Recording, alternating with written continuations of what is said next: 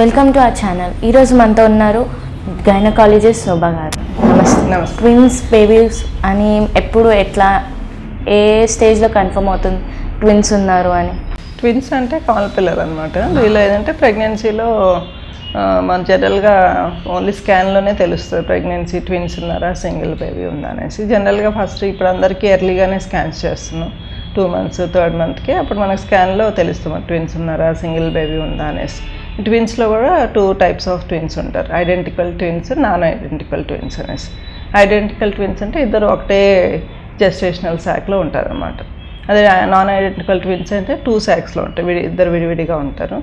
వేరే వేరే శాక్స్ ఉంటాయి. ప్రెగ్నెన్సీ శాక్స్ డిఫరెంట్గా ఉంటాయి. యూట్రస్లోనే టూ శాక్స్లో పెరుగుతారు అన్నమాట ఎట్లాంటి కేర్ తీసుకోవాలంటారు అప్పుడు? ట్విన్స్ ఉన్నప్పుడు అంటే మెయిన్గా కొన్ని నార్మల్ సింగిల్ బేబీ ఉన్నప్పుడు కంటే ట్విన్స్లో కొంచెం ఎక్కువ కాంప్లికేషన్స్ ఉండే ఛాన్స్ ఉంటాయి. ట్విన్స్ ఉన్నప్పుడు ఏంటంటే వీళ్ళల్లో బ్లడ్ సర్క్యులేషన్ అనేది బేబీస్కి వెళ్ళినప్పుడు ఒక్కోసారి ఒక బేబీకి ఎక్కువ బ్లడ్ సర్క్యులేషన్ వెళ్ళొచ్చు ఒక బేబీకి తక్కువ వెళ్ళొచ్చు. దీనివల్ల ఏంటంటే ఒక బేబీ పెరగచ్చు ఒక బేబీ పెరగకపోవచ్చు. ఒక బేబీ చుట్టూ ఉమ్మనీరు ఎక్కువ ఉంటుంది ఒక బేబీ చుట్టూ ఉమ్మనీరు తక్కువ ఉండడం.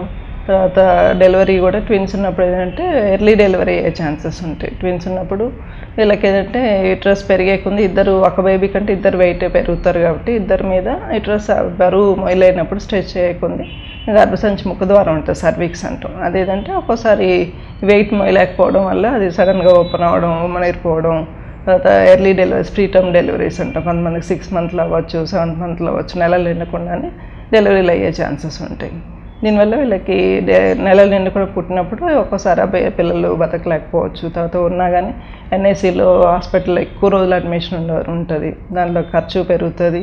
అంత పెరిగినా కానీ ఎంతవరకు బయటకు బాగా బయట హెల్తీగా వస్తారనేది చెప్పలేము అనమాట ఎట్లాంటి ఫుడ్ తీసుకోవాలి? ట్విన్స్ ఉన్నారని డబల్ డబల్ డబల్ ఫుడ్ తినాలని ఏం లేదు.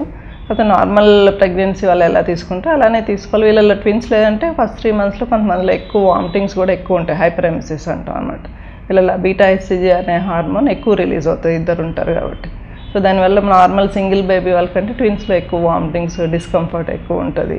పొట్ట పెరిగే ఎక్కువ పెరిగే కొంది ఎక్కువ తినలేకపోవడం ఇవన్నీ కూడా కొంచెం డిస్కంఫర్ట్ ఎక్కువ ఉంటుంది వీళ్ళకి. దీనివల్ల అసిడిటీ ఉండడం వామిటింగ్స్ వల్ల నీరసం అయిపోవడం అందుకని వీళ్ళకి ఏంటంటే ఫుడ్ ఒకేసారి కాకుండా ఎవరి త్రీ అవర్స్ త్రీ అవర్స్కి కొంచెం కొంచెంగా ఎక్కువసార్లు తీసుకోమంటాం. తర్వాత పొట్ట పెరిగే కొన్ని అంటే ఎక్కువ తినలేరు కాబట్టి అప్పుడు కూడా కొంచెం కొంచెం ఎక్కువసార్లు తీసుకుంటాం. కొంచెం ఆయిలీ ఫుడ్ అవి లేకుండా ఎక్కువ పాలు పెరుగు కొంచెం డ్రై ఫ్రూట్స్ తర్వాత ఆకుకూరలు ఫ్రూట్స్ ఇవన్నీ కూడా ఎక్కువ తీసుకోవాల్సి ఉంటుంది. ఇంకేం ఐ మీన్ ఇంకేం కేర్ తీసుకోమంటారు. వీళ్ళకి అంటే మామూలు సింగిల్ ప్రెగ్నెన్సీ వాళ్ళకంటే కూడా ట్విన్స్లో ఎక్కువ గ్రోత్లో ప్రాబ్లమ్స్ ఉండొచ్చు పెరుగుదలలో ఒకరు సరిగా పెరగకపోవచ్చు ఎర్లీ డెలివరీ అయ్యే ఛాన్స్ ఉంటుంది వీళ్ళకి స్కాన్స్ కొంచెం సింగిల్ బేబీ కంటే ఎక్కువ సార్లు చేయాల్సి ఉంటుంది. ఎందుకంటే ఇద్దరు ఉన్నప్పుడు మనకి ఎవరు పెరుగుతున్నారు ఎలా ఉందనేది పైనుంచి ఎక్కువగా తెలియదు అన్నమాట సో దానికి ఏదంటే ఫస్ట్ త్రీ మంత్స్లో కూడా వీళ్ళలో మిస్క్యారేజ్ అయ్యే ఛాన్సెస్ ఎక్కువ ఉంటాయి. తర్వాత బేబీస్ ఇద్దరు ఉన్నప్పుడు అంటే అవయవాలు ఏర్పడడంలో కూడా కొంతమందిలో లోపాలు ఉండొచ్చు. కొంతమంది లేదంటే ట్విన్స్ ఒకే శాక్లో వచ్చినప్పుడు కంజాయిన్ ట్విన్స్ అన్నమాట రెండు అతుక్కొని ఉంటాయి. కొంతమందిలో రెండు తలలు అంటుకుంటాయి కొంతమందిలో నడువు అంటుకుంటుంది. ఇలా ఇలాంటి అబ్నార్మాలిటీస్ కూడా ఉంటాయి. సో ఇవన్నీ ఏంటంటే వీళ్ళకి ఇయర్లీగా స్కాన్లో చూసుకొని డిటెక్ట్ చేసుకొని దాన్ని బట్టి ఫర్దర్గా ఏం చేయాలనేది డిసైడ్ చేసుకోవాల్సి ఉంటుంది. అంటే హెయిర్ ఫాల్ ఎక్కువ అవుతుంది అంటారు కదా? హెయిర్ ఫాల్ అనేది ట్విన్స్ వల్ల హెయిర్ ఫాల్ ఎక్కువ ఉండడం అట్లే ఉండదు ప్రెగ్నెన్సీలో ఎవరికైనా కూడా హార్మోన్ చేంజెస్ వల్ల సరిగా డైట్ తీసుకోకపోవడం వల్ల స్ట్రెస్ వల్ల హెయిర్ ఫాల్ అనేది ఉంటుంది. అంతేగాని ట్విన్స్ ఉన్నారని ట్విన్స్ ఉన్నారని ఎక్కువ అయిపోవడం అలా ఉండదు. తర్వాత ఈ ట్విన్స్లో కూడా ఒక్కోసారి గర్భసంచి ముఖ ద్వారం షార్ట్గా ఉంటుంది అనమాట కొంతమంది ఓపెన్ అవుతూ ఉంటాయి షార్ట్ సర్వీక్స్ అంటాం సర్వైకల్ ఇన్కాంపిటెన్స్ అంటాం.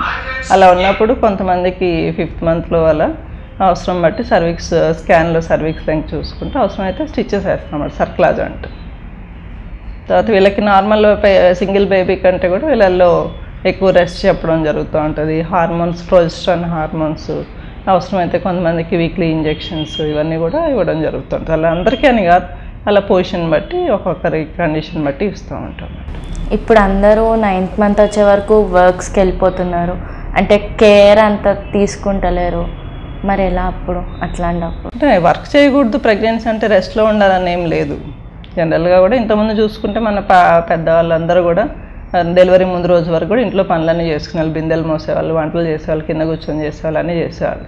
ఇప్పుడంతా పిల్లలు నాజూక్ అయిపోయి చేయకూడదు ప్రెగ్నెన్సీ అంటే రెస్ట్ రెస్ట్ అన్నట్టు ఆలోచిస్తారు. అట్లా ఏం లేదు. మనకు ప్రాబ్లం లేదు. డాక్టర్ అన్నీ చేసుకోవచ్చు అన్నప్పుడు నైన్త్ మంత్ వరకు ఆఫీస్కి వెళ్ళచ్చు. డాక్టర్ చెప్పిన ప్రకారం కొంచెం డైట్ ఫాలో అయ్యి అవి ఇచ్చిన మెడిసిన్స్ మెడిసిన్స్ జనరల్గా ఐరన్ కాల్షియం విటమిన్స్ ఇస్తాం. అవి వాడుకుంటూ జనరల్ వర్క్ అవి చేసుకోవచ్చు.